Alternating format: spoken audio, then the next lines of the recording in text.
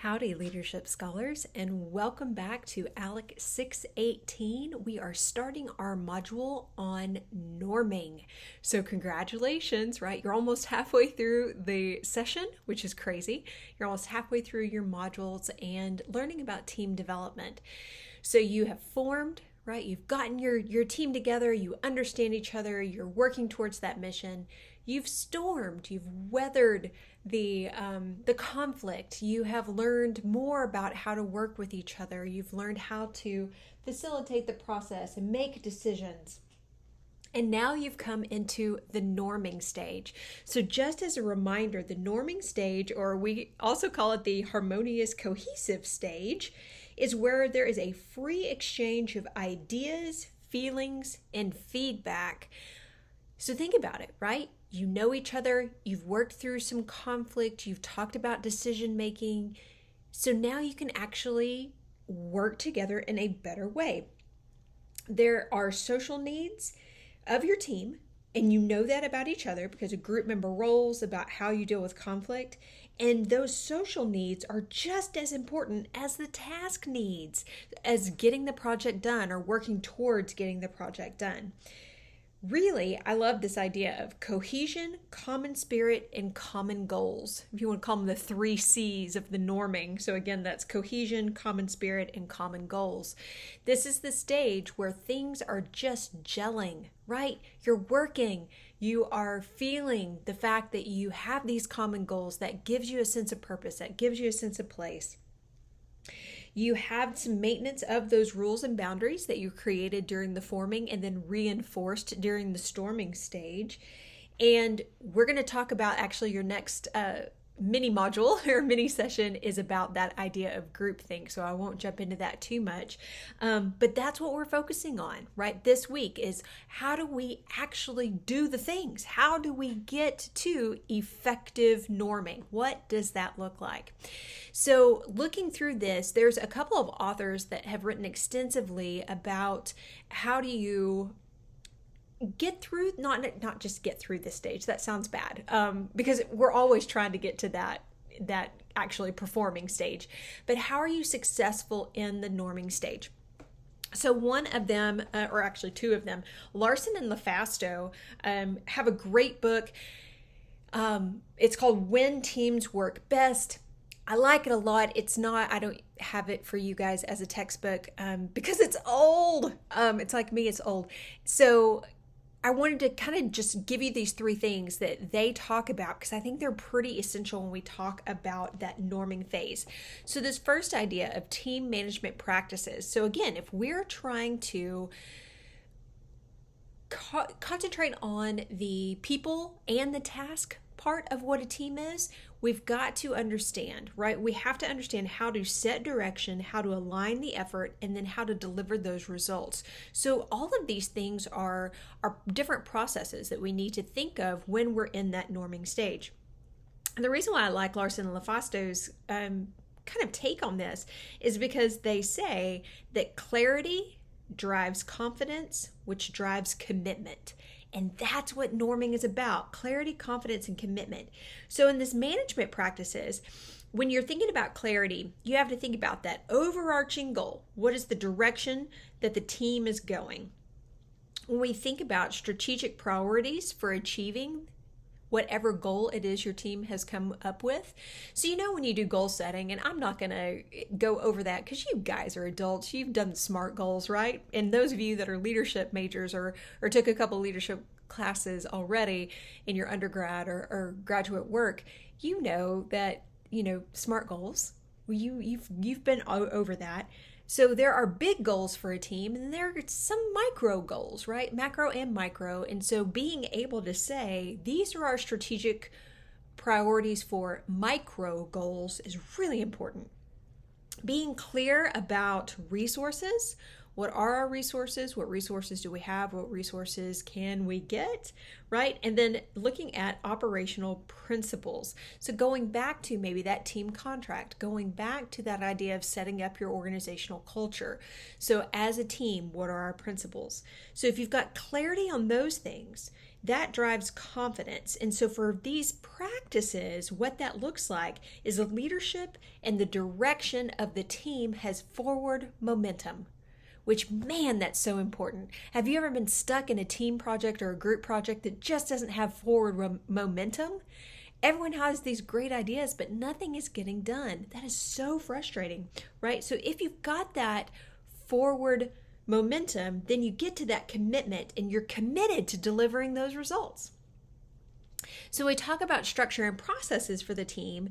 Those are the things that facilitate the best decisions as quickly as possible by people who are in the know, right? We talked about conflict. We talked about there are some people that their voice needs to be heard because they have the information. And sometimes those are the voices that don't get listened to, maybe because they're introverts or they just don't pipe up and say much. When we talk about groupthink, we're going to talk about the necessity of making sure that everyone's voice is heard.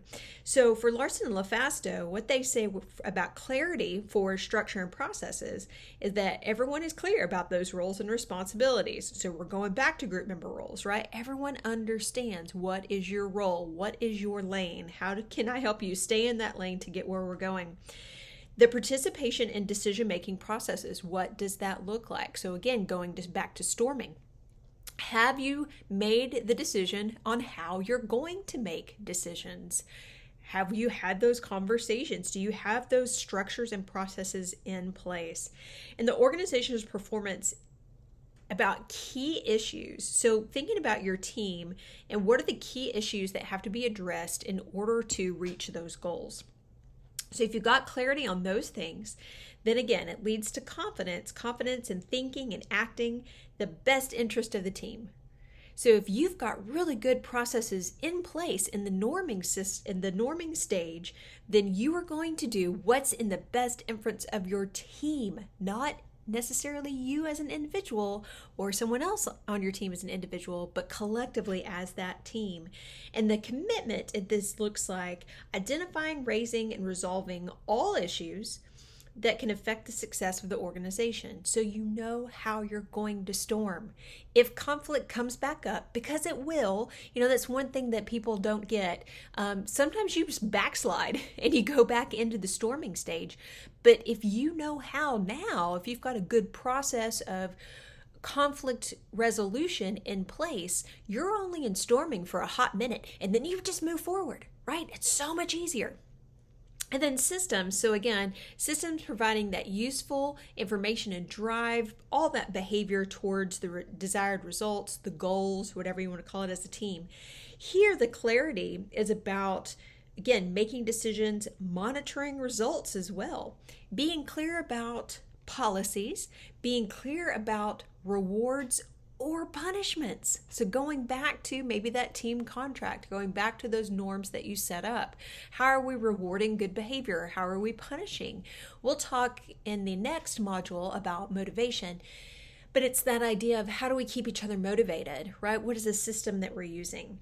And that drives the confidence, and the confidence being not only relationship oriented, but for this one, really fact based current, knowledgeable teammates knowing how to get things done according to the standards the team has already put together, which drives this idea of commitment, which is running an organization or running a team that makes fact based decisions, right? So you could always back it up with data, aligns system and standards with desired outcomes, and is in sync internally and with the organization broadly, and even depending on what your context is, maybe the marketplace or government regulations or whatever that kind of bigger sphere your team is working in.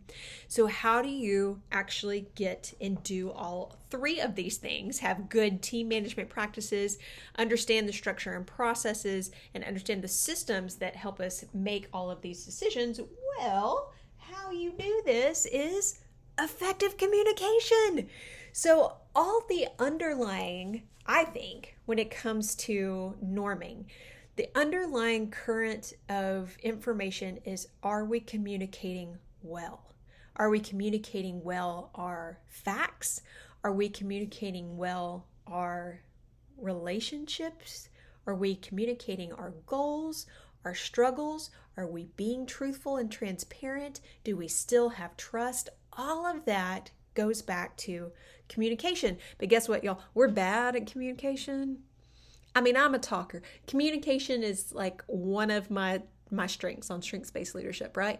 But sometimes even people like me have some miscommunication. Y'all, I do it all the time, probably on a daily basis. Don't ask my husband. Okay, so think about it this way a lot of times in teams, and in life, and because we are all studying a graduate degree, right? And so sometimes we're a bit too erudite for our own good.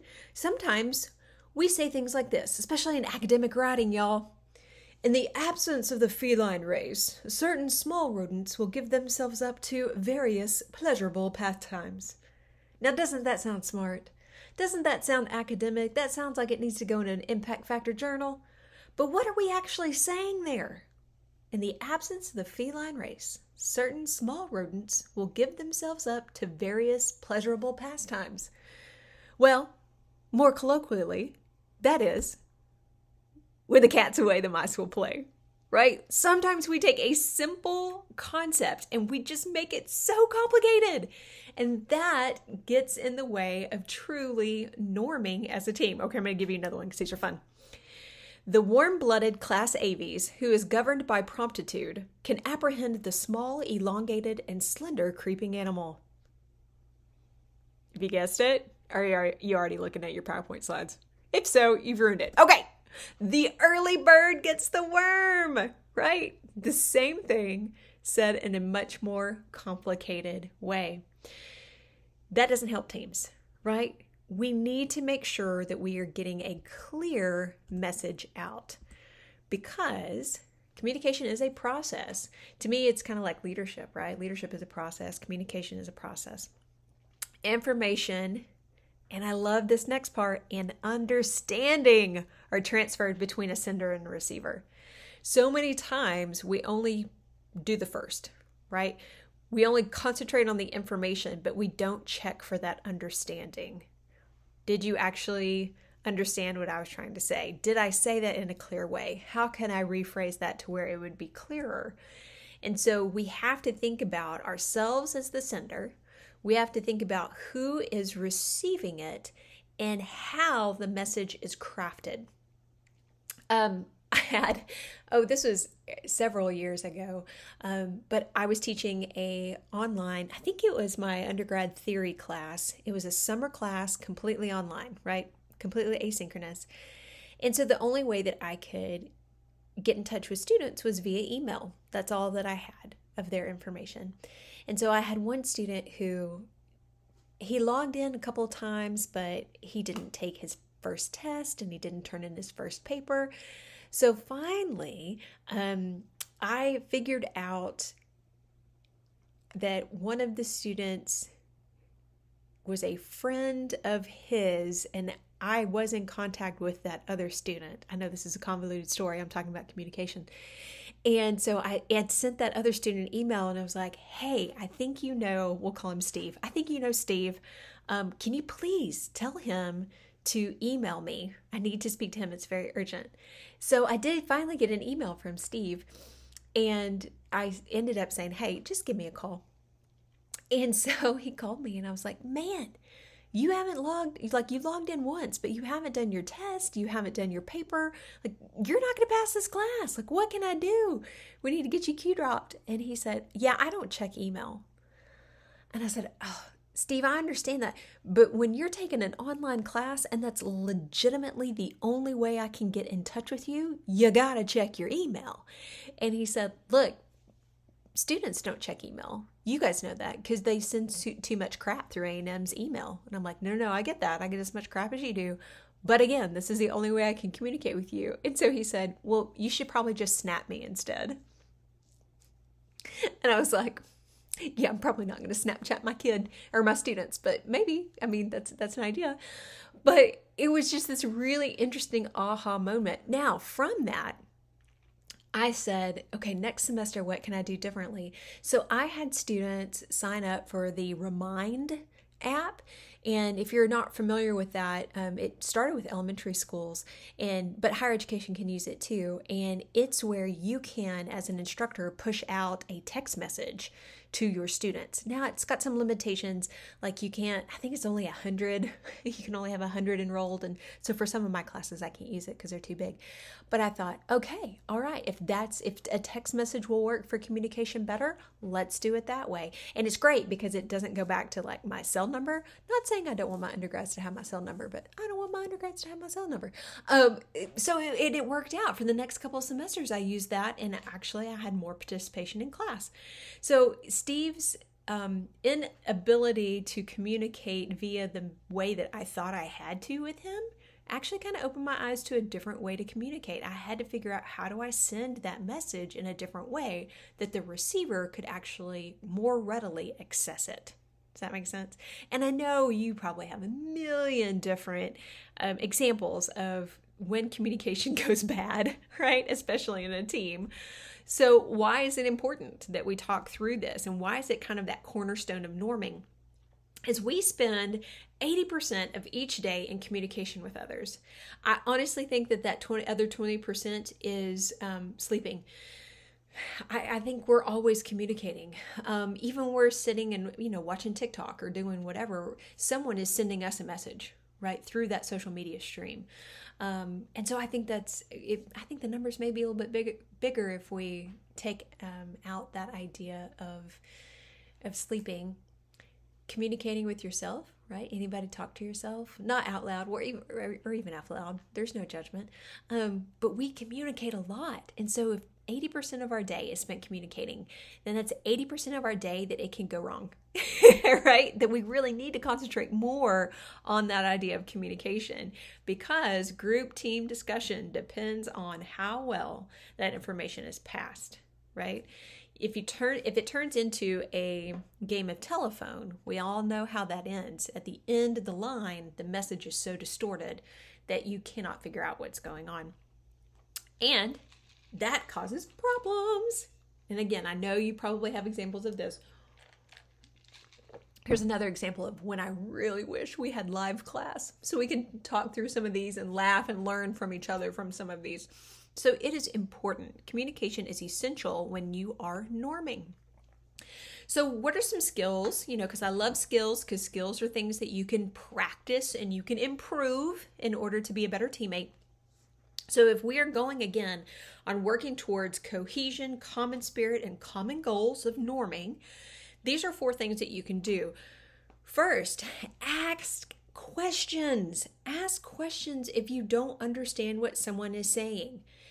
If you have moved past forming and storming, you're not falling prey to not trusting each other, you're willing to be vulnerable with each other, you can ask questions. There are no such thing as a dumb question. They may not be phrased correctly, but they're not dumb. If you don't understand, say, I'm not quite sure what you meant by that. Can you rephrase it for me? And when we say things like that, boy, it just it feels weird, right? or I didn't understand what you were saying, or even going and, and now I'm saying I feel like I'm I'm in a counseling session. What I heard you say was this. Is that what you meant? Right? Really kind of slowing down the conversation and truly getting meaning. And that's where you can really ask questions the most, I guess, it benefits everyone the most at that point. Active listening is another skill. Um, if you hear things but don't really listen to them, um, that could be a problem for you. And that's because our brain processes so much faster than our mouths can speak words. So we're ahead in our brain a couple of thoughts after what that person is saying. So if you've had a conversation, usually an argument is where this pops out the most, you kind of stop listening and you start formulating your own defense. Um, you really have to stop what you're doing and truly focus on that person. So that's putting down your phone, um, that's turning off the TV, that's whatever it is to truly focus on what that person is saying giving constructive feedback is really good for communications if it is constructive feedback and not complaining or whining or tearing somebody down or just straight up being ugly, if you are truly giving constructive feedback, you're going to get better communication from the sender and you as a receiver. So you have to make sure that you are engaging in that way. That's part of communication. And managing feelings, oh, y'all, I'm terrible at this one. I cry when I'm happy, I cry when I'm sad, I cry when I'm angry. I just cry all the time. And I don't mean to be a basket case when it comes to this, but I have low emotional intelligence. And so if I'm in an intense conversation, tears may come. And it's it's not because I'm I'm sad, it's just because I'm I'm so in the moment. And you know, people are scared by tears. I'm going to overgeneralize here for a second and say men. Men are scared of tears. And so it completely shuts down, right? They shut down, and then you're like, I need you to actually give me something. And they're like, No, I'm not going to give you anything because you're crying. You're being an overly emotional woman, you know, whatever it is. So managing those feelings, also not having a tricky uh, or a hair trigger um, oh shoot, I'm trying to say colloquialism. Communication is hard, right? Words are tough. Just don't jump off the deep end real fast, right? Having a um, okay, y'all are all yelling at your computer what I'm trying to say right now, aren't you? Just don't go off on people. Um, sometimes our anger is just so at the surface, right? Especially if we are not working through conflict. And so someone comes along and says something, and it just is that straw that breaks the camel's back, and you just like explode on them. Well, that's not managing your feelings either. So, really, that idea of having a high emotional intelligence increases your ability to communicate. There we go. See, words aren't as hard as I thought. or maybe they are. Okay, so as we continue with norming, again, we're going to talk about groupthink. Um, you've got a fun video to watch for this next time, and we'll move into also how do you be creative in a team? So, the norming stage, fun one, one not to be missed.